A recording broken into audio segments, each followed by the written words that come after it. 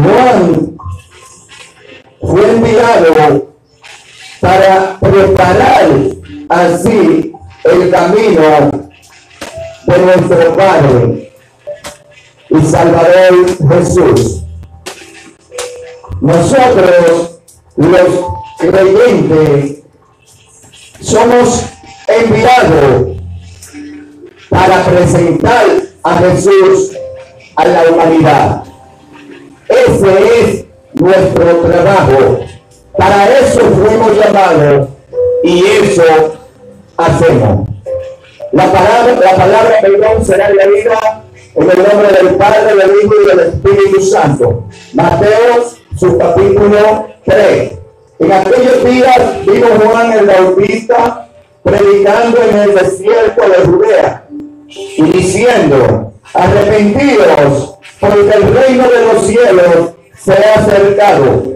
Pues este es aquel de quien habló el profeta Isaías cuando dijo, voz del que clama en el desierto, preparad el camino del Señor, enderezar sus sendas. Y Juan estaba vestido de pelo de camello y tenía un cinto de cuero alrededor de sus lomos y su comida era la gota y miel silvestre. Y salía a él Jerusalén y toda Judea y toda la provincia de alrededor del Jordán. Y eran bautizados por él en el Jordán confesando sus pecados. Al ver él que muchos de los fariseos y de los saduceos venían a su bautismo, le decía, generación de víbora, ¿quién os enseñó a huir de la ira venidera? Haced pues frutos dignos de arrepentimiento y no penséis decir dentro de vosotros mismos, Abraham tenemos por padre, porque yo os digo que Dios puede levantar hijos a Abraham, aún de esta piedra. Y ya también el hacha está puesta a la raíz de los árboles. Por tanto, todo árbol que no da buen fruto es cortado y echado en el fuego. Y su último capítulo dice su aventador, su último verso, perdón, el verso 12 dice, su aventador está en su mano y limpiará su era y recogerá su trigo en el granero y quemará la paja en el fuego que nunca se apaga. Gracias Padre por tu palabra. Gracias porque ellas son cortantes como espada de dos filos. No te pedimos, Padre, que la bendiga porque ellas son benditas de siglo en siglo. Solo nos reta dar gracias por ella. Gracias, Padre Jesús. Amén y amén. Registra dice la palabra que cuando los fariseos y los saduceos fueron hacia Juan al Jordán para ser bautizado, Juan le dice a ellos, víboras, víboras, ¿quién le enseñó a huir de la ira venidera? Pero si hoy en día tú le dices a una persona víbora, dicen que está poseído por el maligno. Pero sin embargo, en la palabra veo que la Biblia se refiere a seres humanos como perros, como celos y como sepulcro evangelio. El evangelio hay que darlo tal y como el Señor lo dejó. Y él dice en su palabra que todo árbol que no dé fruto será cortado. Pero también dice que él recogerá su trigo y la paja será quemada. ¿Qué es lo que se quema, mis queridos oyentes? Lo que se quema es lo que no sirve. Vas a terminar siendo quemado. El Señor no murió en la cruz para que tú te pierdas, sino para que tú procedas al arrepentimiento. El trigo aquí que el Señor va a recoger en su granero son aquellas personas su vida entendieron que no podían seguir transitando por el camino de la perdición y decidieron así dar un paso de fe y venir al arrepentimiento. Entonces, ¿quiénes son esos trigos? Bueno, esos trigos son aquellos que nuestro Señor y Salvador dice, mis ovejas oyen mi voz y yo la conozco y ella me siguen. Entonces la paja es el reto.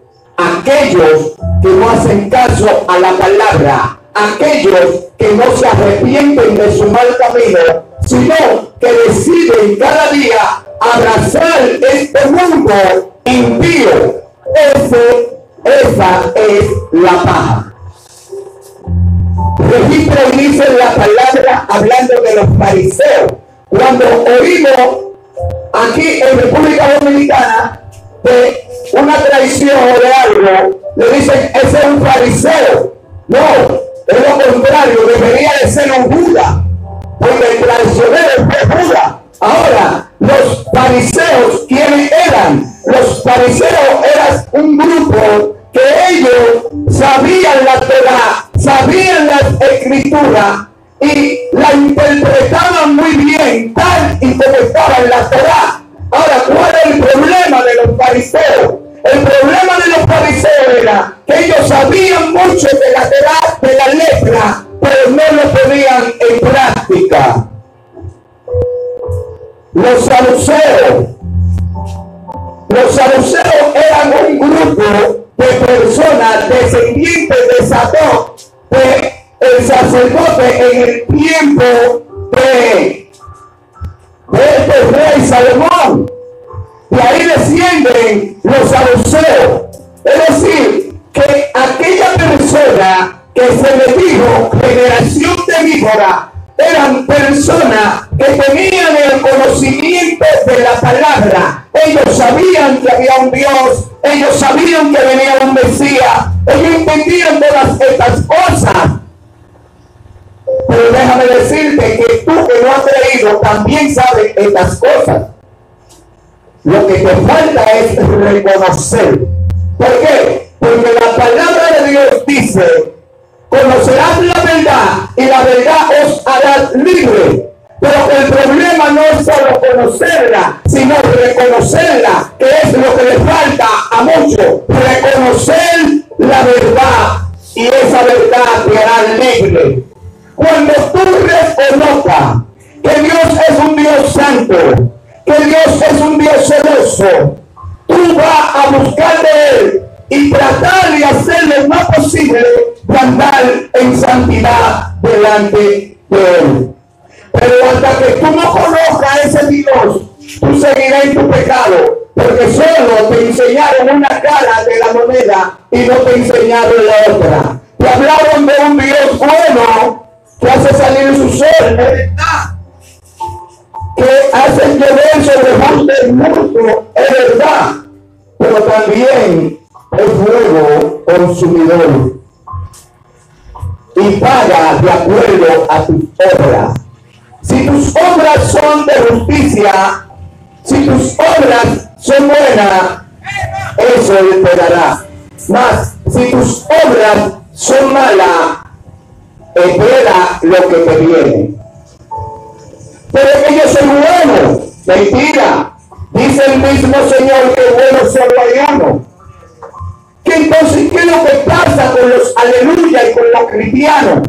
Lo que pasa es que en nosotros mora el Espíritu Santo. En nosotros mora Jesús. Y Él es quien guía nuestra vida.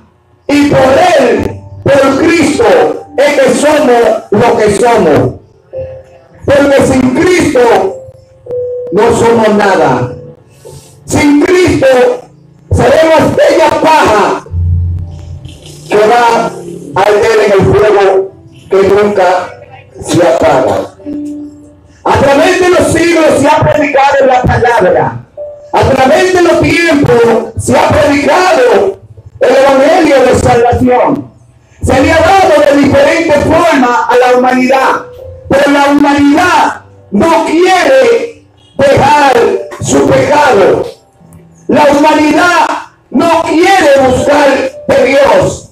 Siempre con muchas excusas, excusas baratas, que en aquel día tú no podrás decírsela a Dios. Porque Dios conoce lo profundo de tu corazón.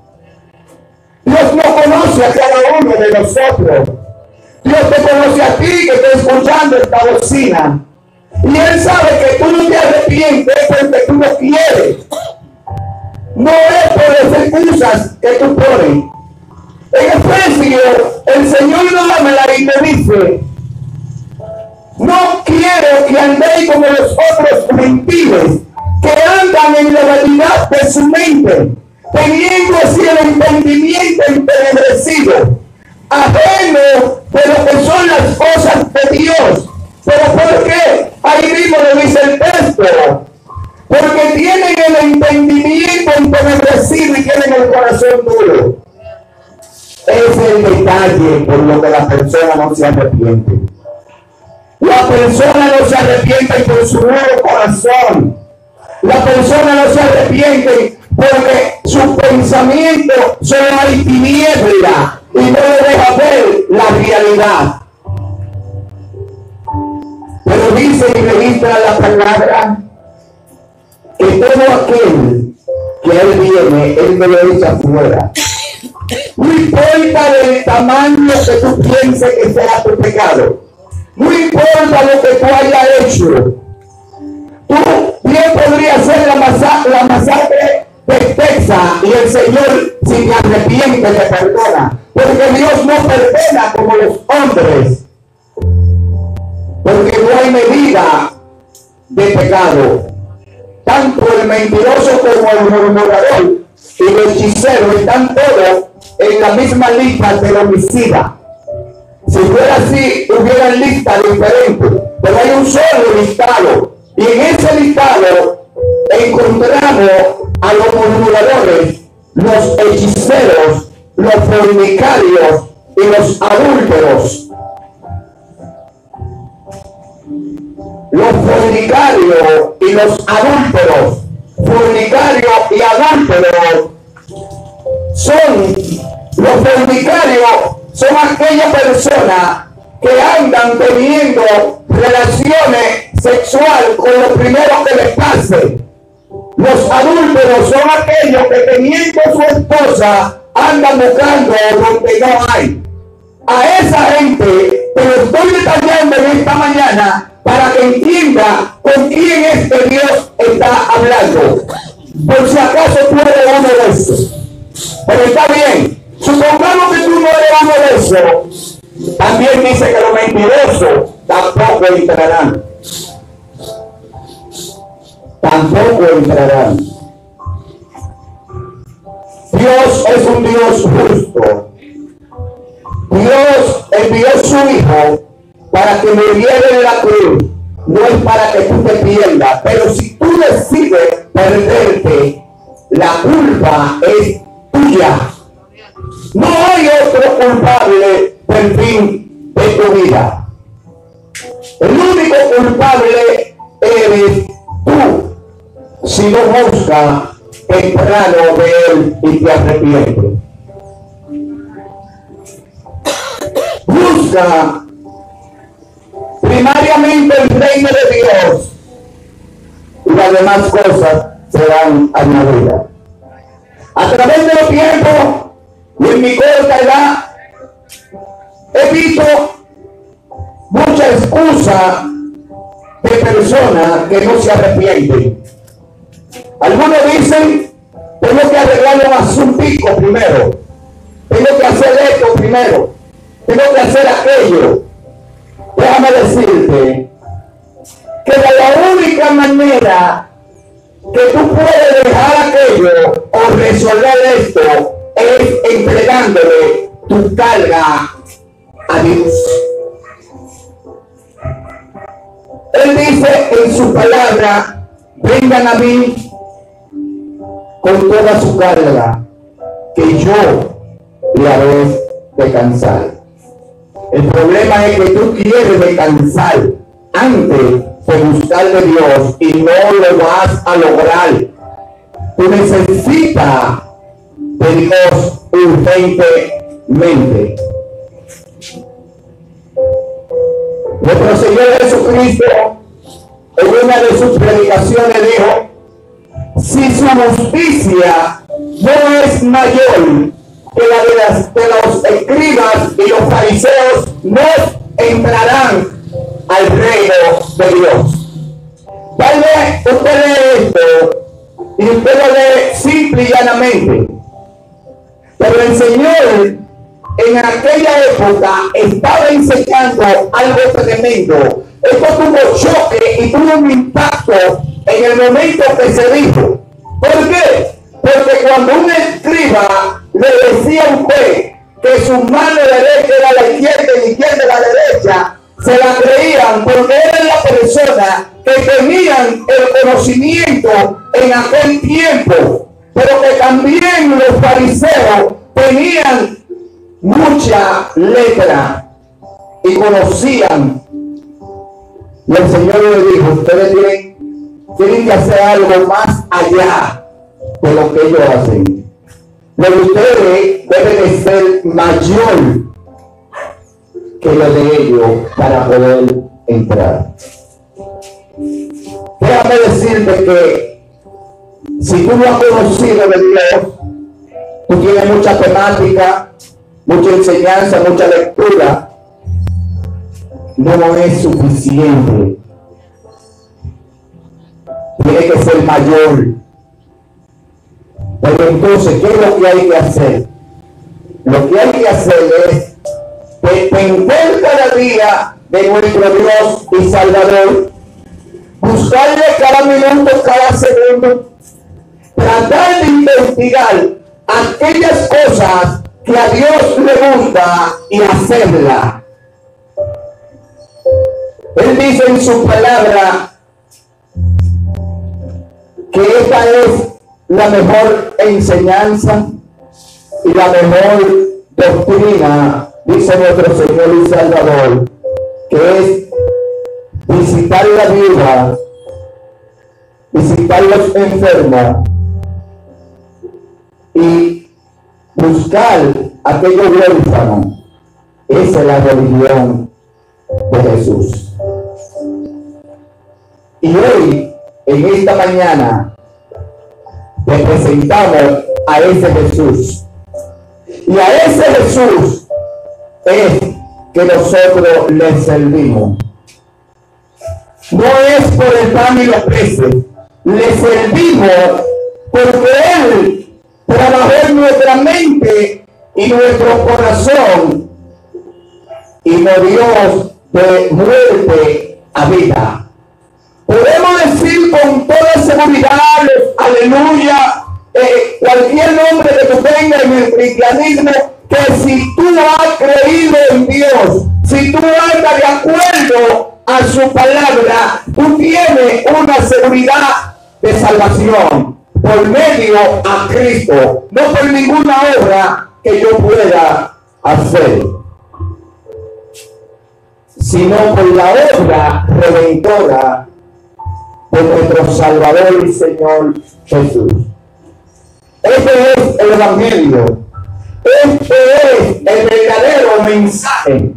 Esta es la verdad. ¿Cuál? Que Cristo vino y que debe de haber un arrepentimiento en la persona para poder heredar el reino de los cielos. O si no, no te evita que no va. Tú puedes vender todo lo que tú tienes y ser bueno en tu mente. Pero si no confiesa en tu boca y le sirve al Rey de Reyes y Señor de Señores, usted no está haciendo nada, mi querido amigo.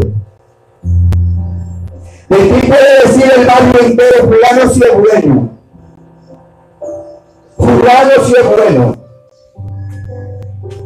Pero cuando tú te pares en dos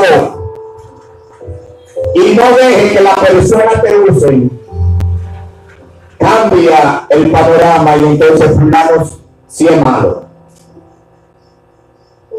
Porque el bueno, el bueno que nosotros como humanos tenemos no es el bueno que tiene Dios.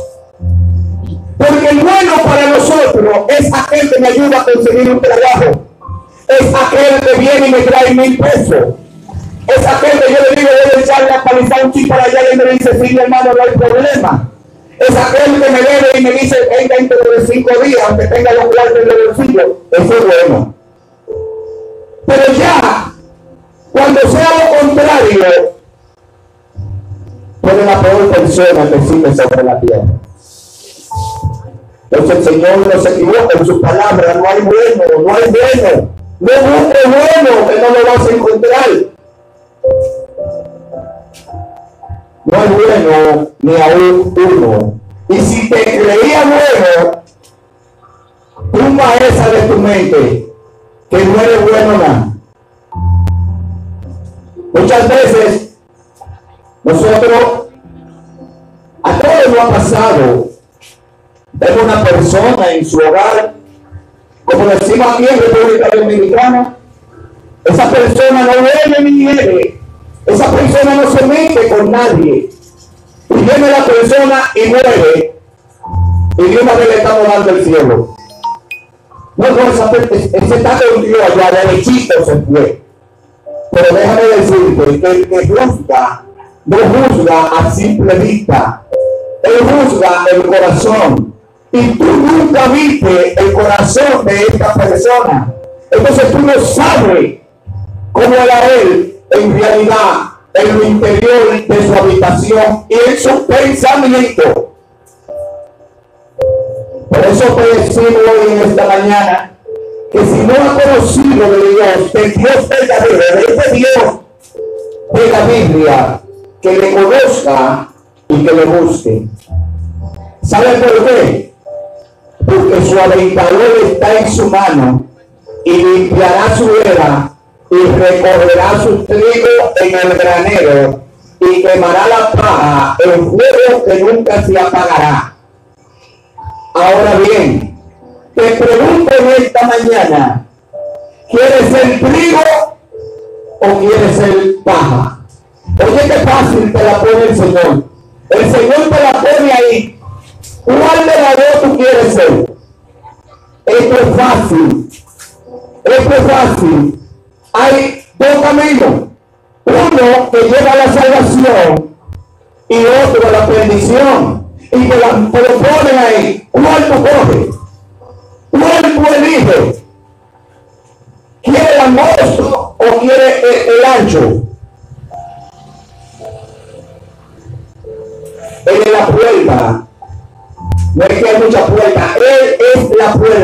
La única entrada es por él.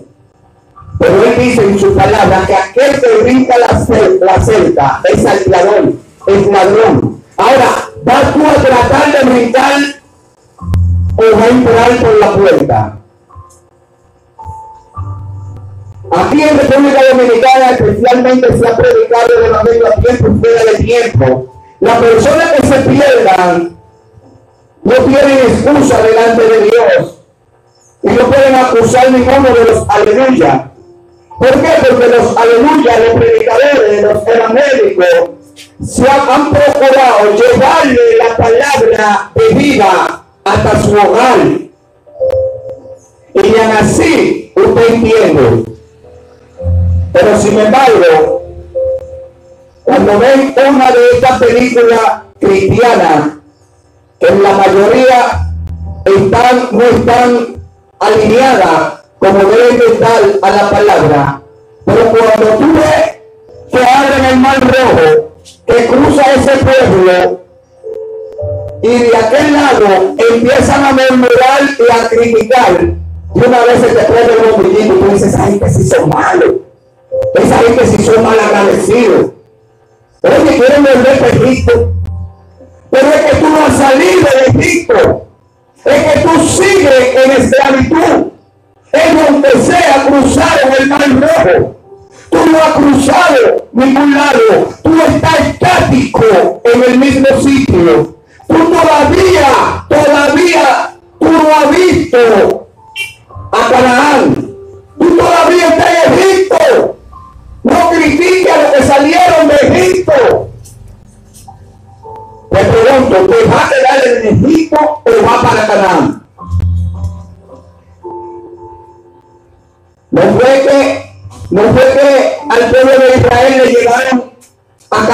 A Egipto. No, ellos tuvieron que cruzar para llegar a Canaán. Por eso te digo que tú debes de empezar a caminar en el Evangelio, a caminar en la palabra de Dios para poder llegar a la salvación. Eso es lo que quiero transmitir en esta mañana. Que mientras tú sigas en tu mundo de pecado, tú no has decidido todavía servirle a Dios. Pero vuelvo, vuelvo y te pregunto, ¿de qué lado quieres estar en aquel día? ¿De qué lado tú crees que tú estarás más cómodo? ¿De lo que arden o de lo que gozan? Y ahora, el tiempo para estar del lado de los que gozan es ahora aquí en la tierra mientras tenga tiempo. Porque allá, allá no hay arrepentimiento para salvación. Allá tú te puedes arrepentir lo que tú quieras. Y como quieras te van a dar lo que te toca. Así que mi palabra y mi mensaje que te traigo de parte del Señor es arrepentido y convertido para que sean borrados nuestros pecados y para que vengan de parte del Señor tiempo de refrigerio porque sin arrepentimiento y sin convertirte, no podrá entrar en aquel día. En los salmos hay una pregunta que le hacen a Dios y esa pregunta siempre me ha impactado. Y la pregunta es, ¿quiénes entrarán, Señor, en aquel día? Y el Señor le dice, los limpios de mano los de corazón puro, los que no son vanidosos, aquellos que saben amar. Pero para tú completar esto y para tener esto en ti, tú necesitas primero a Cristo, porque sin Cristo no podrá. No podrá. Por eso te digo en esta mañana, el mismo, te el mismo mensaje que dio Juan el Bautista, arrepentido, porque el reino de los cielos se acerca. Se acerca el día final. Se acerca el día donde todo esto que tú ves pasará. Y lo vamos a encontrar delante, de frente el gran yo soy, que es el que me va a juzgar a grande y chico. Y allí, allí, no hay excusa que valga delante de él. Por eso te digo, arrepentido y convertido para que sea borrado vuestro pecado. Gracias, Padre. Gracias por tu amor. Gracias por tu misericordia. Gracias por tu palabra, Padre Santo. Gracias, Padre, este pequeño remanente que ha decidido en esta mañana venir aquí y hablar de tu grandeza, Padre Santo.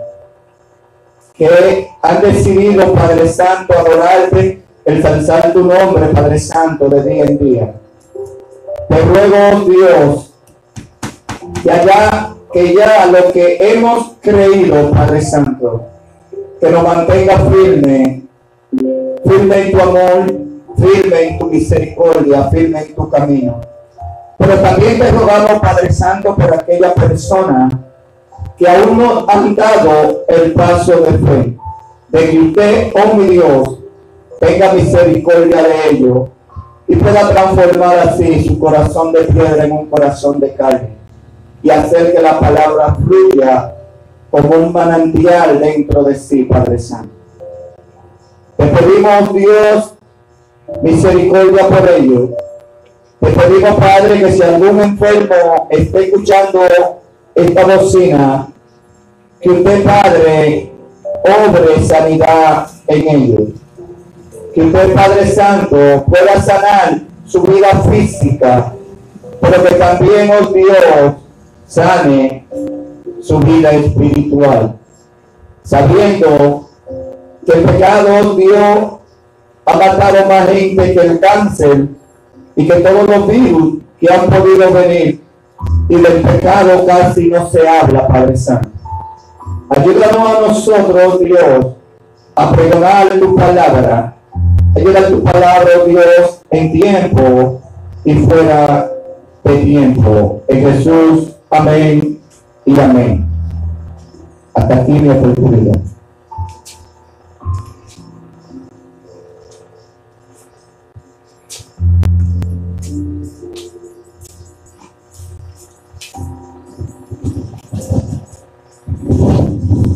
A su nombre.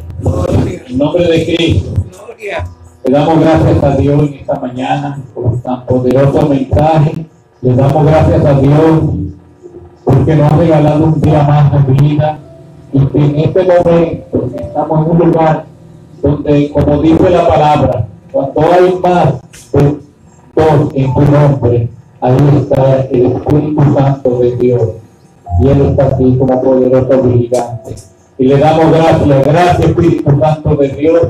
Todo aquello que hayan escuchado esta bocina, el Señor le ha hablado a este pueblo, Padre la Gloria.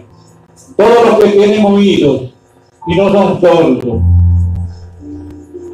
El Señor ha hablado claro, alabado sea el nombre del Señor. Y le sigue hablando. Bendito sea su nombre. Padre, te damos gracias. Gracias, Señor. Gracias por mis santos hermanos. Gracias por mi vecino. Gracias, Padre, por la familia que me ha dado, Padre, por los hijos, por los nietos, por todo, Padre. Mira, Señor, te presentamos cada familia de nosotros, Padre, te lo ponemos en tus manos, Padre. Guárdalo y séllalo. Cúbrelo, de tu Santo Espíritu, Señor. Mira, Señor, que no nos vamos a despedir nunca jamás de tu presencia, sino el uno del otro, bajo la comunión del Padre, del Hijo y del Espíritu Santo. Y el pueblo que espera a Dios dice, sin paz y sin santidad, nadie verá al Señor. Saludar los unos a los otros con óculos santos.